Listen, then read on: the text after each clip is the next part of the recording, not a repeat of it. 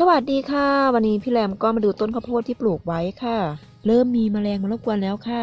วันนี้พี่แรมก็เลยจะมานี่ค่ะ มากำจัดแมลงค่ะ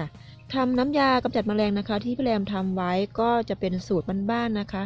ก็คือสูตรที่ทำเองนะคะ ก็หาวัสดุได้ในครัวเรือนนะคะ ก็เป็นน้ำยาที่ทำแล้วปลอดสารเคมีด้วยค่ะ วิธีผสมน้ำยากำจัดแมลงของพี่แรมนะคะ พี่แรมก็จะเตรียมน้ำนะคะ น้ำทั้งหมด สี่ห้าถังนะคะ ก็ถังละสิบลิตรค่ะ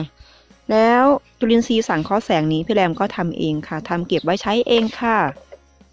จุลินทรีย์สังเคราะห์แสงพี่แรมก็จะใส่นะคะ ใส่สองถ้วยค่ะ ถ้วยนี้จะมีปริมาณอยู่ที่ห้าสิบซีซีค่ะ ก็จะใส่นะคะสองถ้วย ต่อน้ำสิบลิตรค่ะ จุลินทรีย์สังเคราะห์แสงนี้พี่แรมก็จะใส่เพื่อที่ว่าจะให้ต้นข้าวโพดนั้นโตเร็วค่ะ แล้วที่นี่ในส่วนของพี่แรมนี้นะคะ ไม่มีระบบน้ำบาดาลค่ะ เพราะฉะนั้นจะต้องอาศัยน้ำฝนเท่านั้น จุลินทรีย์สังเคราะห์แสงนี้ก็จะช่วยในเรื่องของการบำรุงต้นพืชนะคะ แล้วก็จะช่วยบำรุงดินค่ะทำให้ดินชุ่มชื้นค่ะ ปีที่แล้วนี้พี่แรมก็ได้นำจุลินทรีย์สังเคราะห์แสงนะคะ มาบำรุงต้นข้าวโพดค่ะ ก็ปรากฏว่า ข้าวโพดของพี่แรมนะคะ ก็งามดีค่ะ แล้วก็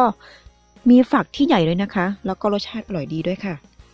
นี่ก็คือน้ำยากำจัดแมลงนะคะ ที่พี่แรมทำไว้ก็จะมีในส่วนผสมของยาฉุนนะคะ แล้วก็มีกระเทียมมีพริกนะคะ แล้วก็มีมะนาวค่ะ แล้วก็มีน้ำยาล้างจานนะคะ นิดนึงค่ะ แล้วก็ผสมกับนมจืดค่ะ ก็จะใส่ปริมาณที่สองถ้วยค่ะ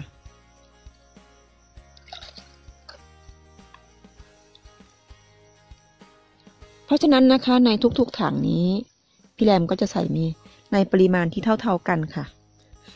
ในทุกๆถังนี้นะคะ พี่แรมก็จะใส่ในปริมาณที่เท่า ๆกันค่ะ จะเอาไม้มาคนนะคะ เมื่อเราผสมเสร็จแล้วเราก็นำไม้มาคนค่ะ เมื่อคนให้เข้ากันแล้ว เราก็จะใส่ถังไปฉีดพ่นค่ะ วันนี้พี่แรมก็จะ ใช้บัวรดน้ำค่ะ แล้วอีกส่วนหนึ่งก็จะนำไปฉีดพ่นด้วยค่ะ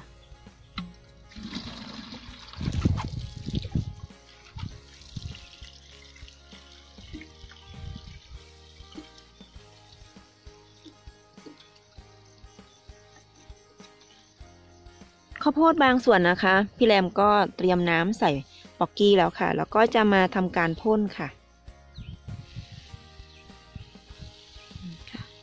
เวลาที่พ่นเราก็จะพ่นให้โดนต้นข้าวโพดค่ะนี่ค่ะ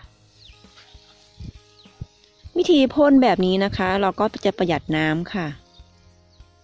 ค่ะ เราก็พ่นให้โดนต้นข้าวโพดเลยค่ะพ่นให้ชุ่มๆค่ะ